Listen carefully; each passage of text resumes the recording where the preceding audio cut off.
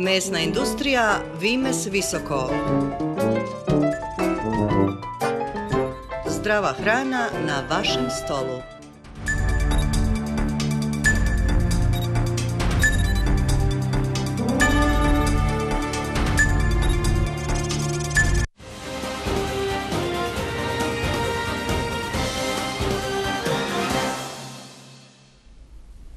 Poštovani gledaoci, pratite dnevnik i izdvajamo vijesti dana. Rudarska nesreća u Brezi poginuo 28-godišnji rudar Aldin Zukić. Siromašno. S kim je živio? Majka i, on, i sestra. Čović najavljuje kandidatski status. Vizdić još uvijek bez odgovora na upitnik Evropske komisije. Milorad Dodik nastavio sa antiustavnom retorikom. U Mrkonjić gradu poručio da je Republika Srpska država. Bosna i Hercegovina je loše mjesto za Srbe i loše mjesto za Republiku Srpsku. Radovan Karadžić ponovo se žalio na uslove u zatvoru. Nedostatak frižidera, srpskih TV kanala i loš laptop. Više od 450 miliona ljudi u svijetu ima neki od mentalnih poremećaja. Raste broj oboljelih i u Bosni i Hercegovini.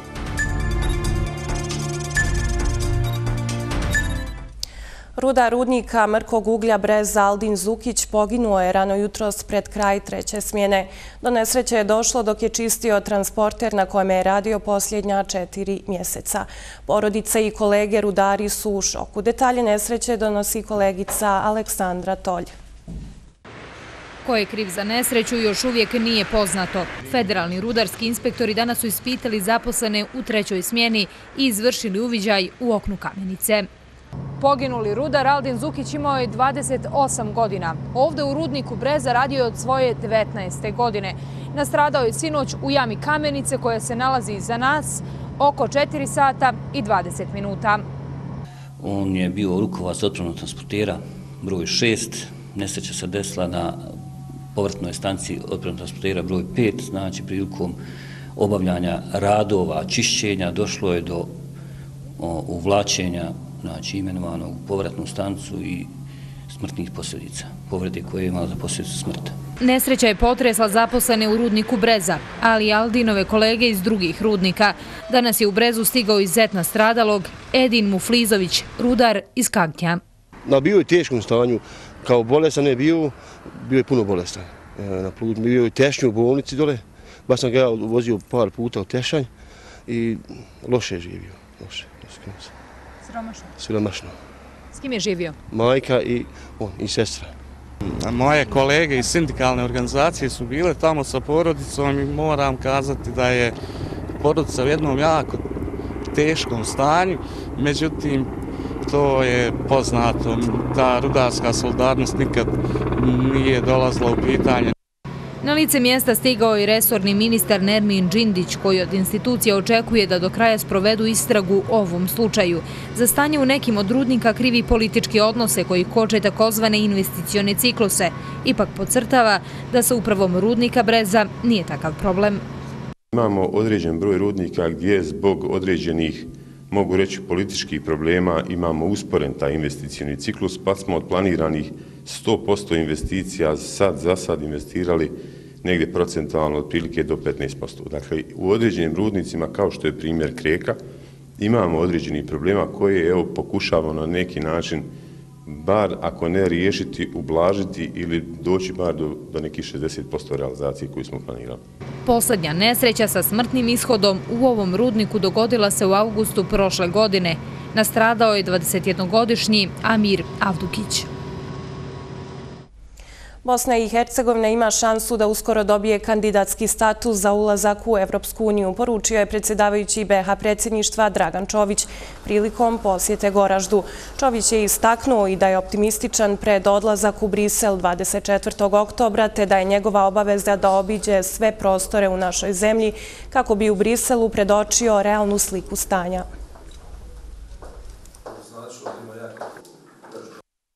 Čini mi se da smo mi stvorili preduvjete za kandidatski status, samo to treba u narednih mjesec dana odraditi, da bi onda mogao pozvati ključne dužnostnike Evropske unije koji su i prijatelji Bosne i Hercegovine, a sami su vrh donošenja odluka u Briselu, da u 11. mjesecu posjete Bosnu i Hercegovinu, da to oni kažu onda što se tiče našeg kandidatskog statusa. Znači on je tu u našim rukama A da dijela ipak pokazuju drugačije od onoga što zvaničnici govore, dokaz je manje od 50% odgovora na upitnike Evropske komisije, čije predvođenje prevođenje tek treba da počne. O zastoju na evropskom putu te neispunjavanju rokova koje je Bosna i Hercegovina sama sebi postavila i danas je govorio predsjedavajući vijeća ministara Denis Zvizdić. Podsjećamo, prvi rok za dostavljanje odgovora u Brisel istekao je prije četiri mjeseca. Mnogi rokovi su prošli odgovori na upitnik Evropske komisije nisu spremni, a problemi oko prevođenja i dalje postoje. Vijeće ministara Bosne i Hercegovine nije ispoštovalo ni vlastiti zaključak sa sjednice održane 25. jula ove godine, a kojim se obavezalo da će finalizirati odgovore na upitnik Evropske komisije do 1. septembra. Imamo praktično definirane e, odgovore za nekih 17 poglavlja, iz upitnika Evropske komisije za Bosnu i Hercegovinu, što predstavlja nešto manje u ovome momentu od 50% od ukupnog broja pitanja. Ipak u javnosti ostaje nejasno zašto se ponovni, popravni, odnosno zakašnjelo dostavljanje odgovora u Brisel predstavlja kao spektakularno dostignuće. I danas se predsjedavajući Zvizdić kao dežurni repetent držao evropskog puta samo medijski tretirajući ovo pitanje. Kako smo predviđali da, će, da je trebala biti početkom ove godine, ali evo to kašenje pokušavamo da nadoknadimo. Evropskog puta i standarda domaće vlasti drže se samo u deklarativnom smislu, što pokazuje neispunjena obećanja međunarodnoj zajednici. Posjećamo u pismu namjere MMF-u, predsjedavajući Zvizdić obećao je usvajanje dodatnih akciza, s tim da nije računao na gubitak povjerenja onih koji su ga izabrali. Treba da ima vrlo jasno definisanu namjenu, a to je da povećanje akciza 10 plus 5 treba da bude uspjereno ka izgradnji autoputeva, odnosno autocesta ili puteva ili cesta, zavisi kako ko koristi taj izrazane, izraz, a ne nikakvu opću budžetsku potrošnju. Iako novi set zakona o akcizama nije dobio podršku predstavničkog doma već nekoliko puta, Upravni odbor Uprave za indirektno oporezivanje Bosne i Hercegovine vijeću ministara uputio je identičan zakon, a za koji sad i sam Zvizdić vjeruje da neće biti usvojen. Predsjednik Republike Srpske Milorad Dodik nastavio je sa antiustavnom retorikom. On je danas u Mrkonić gradu kazao da je Republika Srpska država i da će to biti jer je to historijska pravda. Dodik je rekao da neće odustati od te borbe bez obzira na to šta misle u američkoj ambasadi. Treba odpočeti proces u Republike Srpskoj prekida rada u Bosni i Hercegovini. Prekida davanja legitimiteta zemlji, Sarajevu, koje ne drži do prava Srba, koji ne drži do naših historijskih i nacionalnih prava. Bosna i Hercegovina je loše mjesto za Srbe i loše mjesto za Republiku Srpsku.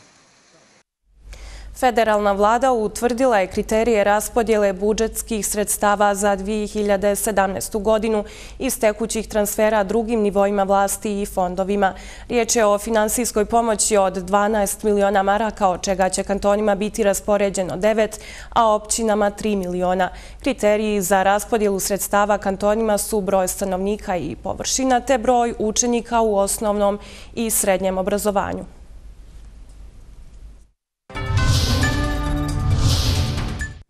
Prva godišnjica tragične pogibije studentica Selme Agić i Edite Malkoč obilježena je danas u Sarajevu. Veliki broj građana, rodbine i studenta Filozofskog fakulteta prisjetili su se stradalih studentica. Za ubistvo djevojaka u kantonalnom sudu u Sarajevu trenutno se sudi Sanjinu Sefiću. Ispred zgrade Zemaljskog muzeja u Sarajevu danas je obilježena godišnjica smrti studentica Selme Agić i Edite Malkoč. Selma i Edita poginule su 10. oktobra prošle godine nakon što ih je na pješačkom prelazu pri velikoj brzinu od 100 km na sad automobilom udario Sanjin Sefić. Na mjestu njihove pogibije, pored Zemaljskog muzeja, danas su zapaljene svijeće i položeno cijeće, te je u tišini odata počast stradalim prijateljicama.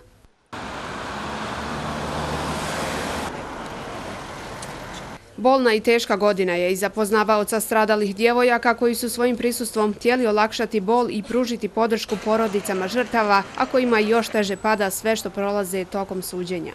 Znači godinu dana mi nismo ni na pola suđenja. Od obsorinjanja advokata, od, od gluposti koji valja njegov advokat i pita one e, svjedoke. Znači za njegov advokata su krivi svi sem njega. A ovo što se dešava u ovoj državi, državi, žalostnoj državi. Ovo je za svu, Bože sačuvaj, Bože sačuvaj. Ali mi moramo to da prolazimo, mi ćemo da se borimo da, za to, mi ne damo svoje djevojke da se da i neko blati i ja ću dati svoj život ako treba i jedne svoj život da svoje djevojke ne oblati niko. Veliki broj prisutnih studenta poručili su da će istrajati u traženju promjena kako bi se sigurnosna situacija popravila. Policijske kontrole su bile aktivne mjesec dana od nesreće Salame i Edite, međutim danas njihovo djelovanje ne vidimo. U ovom trenutku možemo reći da ne vidimo promjene kojima težimo već godinu dana, ali ni najmanje poljuljanog uvjerenja smatram da možemo to postići, da se trebamo nastaviti truditi i boriti dalje. Prvo Sanji Sefić je nakon bijega u Srbiju i boravka u ekstradicijskom pritvoru u Novom Sadu 9. januara ove godine izručen pravosuđu naše zemlje. Osim njega, optužnicom su obuhvaćeni i Sanjinova sestra Sara Sefić, Amar Salihović, Saud Nišić i Dino Alić. Sanjinu Sefiću se trenutno sudi za teška krivična dijela protiv sigurnosti javnog saobraćaja i neukazivanja pomoći povrijeđenoj osobi u saobraćajnoj nesreći. Za dnevnik televizije Alfa, Indira Šahbazović. 18 dilera uhapšeno je jutro su akciji kodnog naziva Piramida akcija je izvršena na području Banja Luke, Prijedora i Istočnog Sarajeva, dok je SIPA pružila podršku pri pretresima na području Sanskog mosta i Visokog. Prilikom hapšenja oduzeta i veća količina droge koja je iz Sarajeva i Sanskog mosta prosljeđivana ka Banja Luci gdje se prodavala na ulicama. Na udaru policije ponovo su se našli narkodileri. U Banja Luci je uhapšeno 9, u Prijedoru 6, u Sanskom mostu 2, Istočnom Sarajevu 3, Visokom jedno lice. Sprovedenu akciju Piramida vodila je uprava za organizovani teški kriminalitet zajedno sa policijskim upravama iz navedenih gradova Srpske, dok je SIPA pružila pomoć u akciji na području Federacije BiH. Izvršeni su pretresi na ukupno 23 lokacije. U ovoj akciji oduzeto je kokaina 23 grama, heroina 95 grama, marihuane 1425 grama i spida 32 grama. Sva lica ličena slobode su od ranije poznata policiji kao izvršioci krivičnog djela nedozvoljene proizvodnje i prometa opojnih droga i ona će uz izveštaj u zakonskom roku u roku 24 sata biti predata okružnom javnom tužilaštvu u Banja Luci.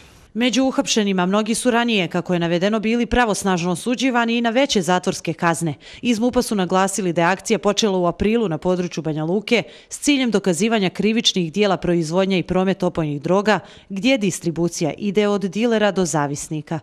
U proteklih šest mjeseci imali smo 20 zadokumentovanih primopredaja opojne droge od strane prodavca, odnosno dilera, ka ovisniku na području grada Banja Luki. Ta upojna droga je dolazla sa područja Sarajeva i sa područja Sanskog mosta, preko prijedora u Banja Luku i Sanskog mosta, a iz Sarajeva je dolazla direktno ovaj u Banja, u Banja Luku. Znači, e, lica sa tog područja su posredstvom e, dilera u Banja Luci na ulicama Banja Luke u ovom konkretnom slučaju omogućavala dostupnim opojnu drogu koja je ovdje navedena. Kako je rečeno, akcija piramida ne može se povezati sa nedavno provedenom akcijom Petrićevac. Iz Ministarstva unutrašnjih poslova najavljuju da će u narednom periodu aktivnosti biti usmjerene na spriječavanje trgovine i dostupnosti droge na ulicama.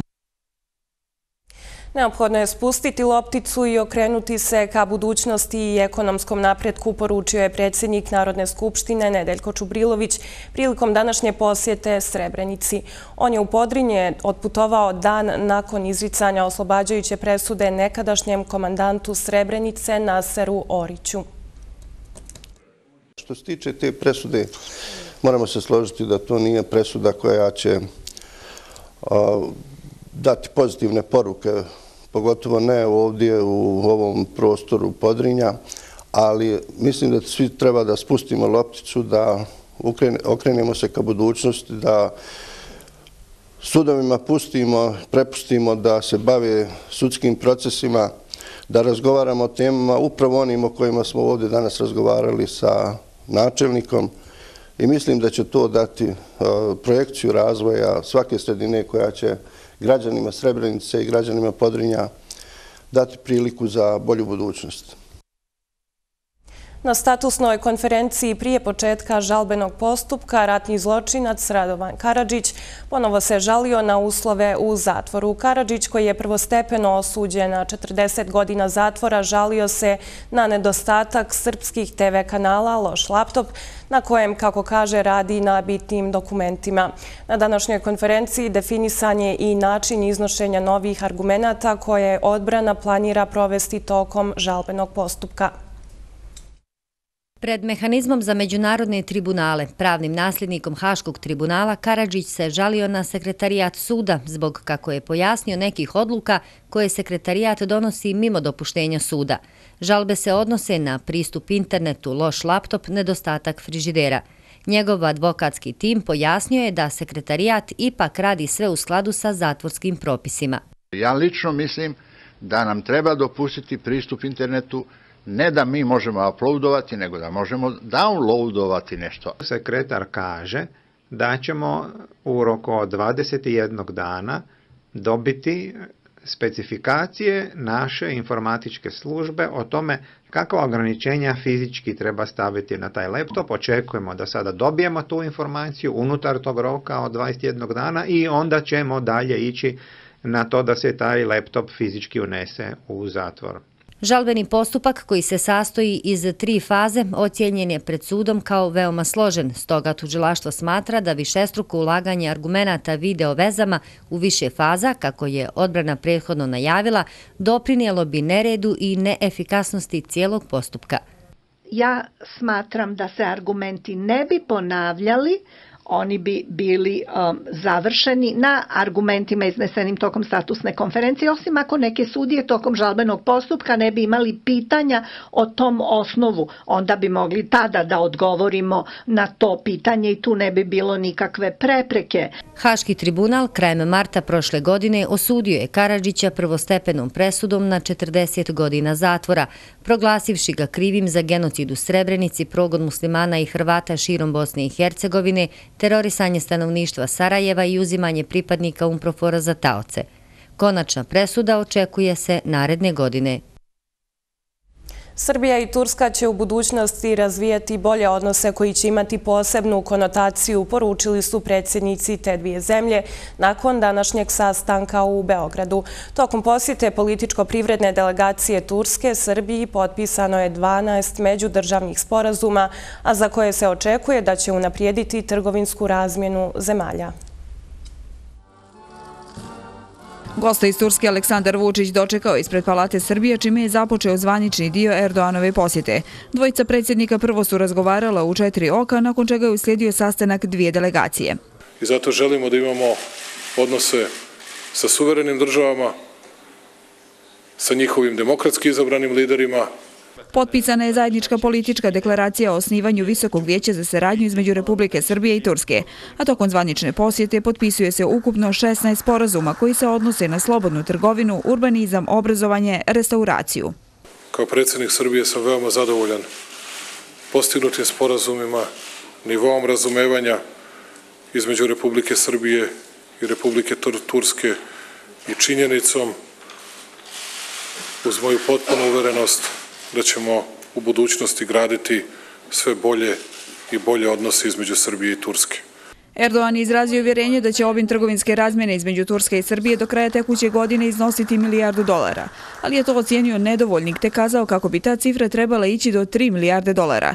Izrazio je uvjerenje da će zajednička zarada biti i podijeljena. Turska mnogo radi na polju infrastrukture što je dovelo do povećanja obima transporta. Aviosaobraćaj je na visokom nivou, a aviokompanija lider kada je riječ o prevozu putnika na svjetske destinacije. I ove godine smo imali i rekordnu zaradu. Želimo sve ove stvari da podijelimo sa Srbijom. Planirano je da privredno-politička delegacija iz Turske sutra posjeti Novi Pazar gdje će razgovarati sa gradonačelnicima i predsjednicima općina Novi Pazar, Raška, Kraljevo, Sjenica, Tutin, Prijepolje, Nova Varoš i Priboj.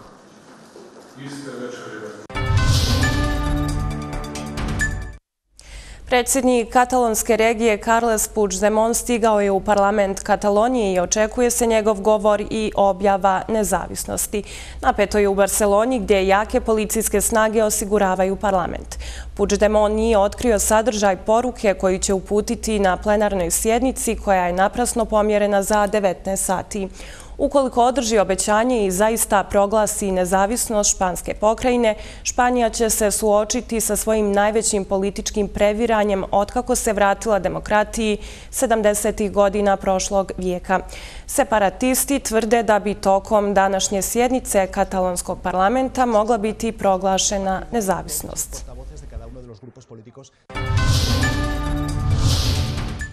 Deset ljudi je poginulo, a najmanje stotinu je povrijeđeno u šumskim požarima koji se nezaustavljivo šire na području Sjeverne Kalifornije. Vatrogasci se bore s najvećim požarima u posljednjih 36 godina. Vatrena stihija bjesni na sjeveru gdje je zahvaćeno preko 20.000 hektara zemlje. Stotine osoba vode se kao nestale. Više od 1500 objekata je uništeno u požarima koji bjesne u Sjevernoj Kaliforniji. Požarima koji nose sve pred sobom dodatnu snagu daju vjetrovi koji su rasplamsali pakao kakav je do sada neviđen. Procjenjuje se da bi broj žrtava mogao i dalje rasti. Požari potpuno razaraju čak osam okruga u Sjevernoj Kaliforniji. Na ovom području je više od 50 građevina. Dramatično je u okrugu Kalestoga, gdje je vatra progutala nekoliko građevina. Nekoliko osoba je završilo u bolnici zbog teških opeklina. Naš primarni cilj je zaštita objekata i sprečavanje širenja vatre na okolne kuće. Uništeno je stotinu domova, ni sam više ne znam broj. Vanredno stanje proglašeno je u tri okruga nedaleko od San Franciska zbog 14 velikih požara koji su trenutno aktivni. Najteža situacija je u vinskim područjima Napi i Sonami, gdje je evakuisano više od 20.000 ljudi. Pokušavamo spasiti ono što će vrlo brzo progutati vatra i to se čini veoma brzo. Mnogo je dragih ljudi, većinu ne poznajem, ali se međusobno pomažemo. Trenutno sam zaista u velikom šoku. Kako ističu vlasti u Kaliforniji, vatra će ostaviti teške posljedice po privredu ove regije, budući da je to područje područje širom svijeta poznato po vinogradima. Američki meteorološki zavod izdao je uzbunu i za cijeli zaljev San Franciska, budući da jaki vjetrovi nose crni dim na to područje. Procjenjuje se da je ovo najveći požar od 1981. godine kada je bilo uništeno 65 građevina. Više od 450 miliona ljudi u svijetu ima neki od mentalnih poremećaja. Procijenjuje se da bi svaka četvrta osoba tokom života mogla imati određenih problema s mentalnim zdravljem. Prema predviđanjima Svjetske zdravstvene organizacije do 2020. godine, depresija će biti drugi uzrok ukupnog obolijevanja i jedan od vodećih javno zdravstvenih problema. Broj ljudi koji se suočavaju sa mentalnim poteškoćama u stalnom je porastu i u našoj zemlji. Bosna i Hercegovina je jedina zemlja u jugoistočnoj Evropi koja je uspostavila mrežu od 68 centara za mentalno zdravlje u zajednici. Jedan od najčešćih uzroka lošeg mentalnog zdravlja je stres. Trenutna društveno-politička zbilja i loša ekonomska situacija naših sugrađana prvi su okidači koji vodi do stresa BH građana koji vrlo lako posežu za antidepresivima. Posljedice ovakvih stanja znaju biti i alarmantne, ali rešenje se nerijetko krije u nama samima, navode stručnjaci. Stručnjaci navode i nekoliko grupa rizika. Ti rizici su priroda posla, nejasni ciljeve organizacije, ograničeno učešće uposlenika u donošenju odluka i loša komunikacija ili prakse menadžmenta. A Bosna i Hercegovina je i zemlja u kojoj se dosta građana suočilo i sa posttraumatskim sindromom nastalim usled proteklog rata. Ovakva stanja dosta je teško tretirati, ali je moguće pomoći oboljelima. Bitno je iskorijeniti segregaciju i diskriminaciju, pa je proces izlječenja znatno lakši. Bosna i Hercegovina je danas dobila i 65 okupacijonih terapeuta koji će biti na usluzi BH građanima. Dobili smo izvrsne rezultate i omogućili da okupacijona terapija bude prisutna prisutna i da se već implementira u centrima za mentalno zdravlje, u zavodima za rehabilitaciju, u kliničkim centrima i psihijatrijskim bolnicama u Federaciji Bosne i Hercegovine. Adekvatnu edukaciju medicinskog osoblja financirala je Švicarska ambasada u Bosni i Hercegovini koja je osigurala preko 15 miliona konvertibilnih maraka za podršku mentalnih usluga u našoj zemlji. I u naredne četiri godine Švicarska namjerava obezbijediti još 25 miliona maraka za zdravstvene projekte, iako je do sada uložila 52 miliona konvertibilnih maraka. Aktuelnosti svijeta sporta i očekivanja od večerašnjeg nastupa BH nogometne reprezentacije u Talinu pogledajte u nastavku programa. Dnevnik je završen. Doviđenja.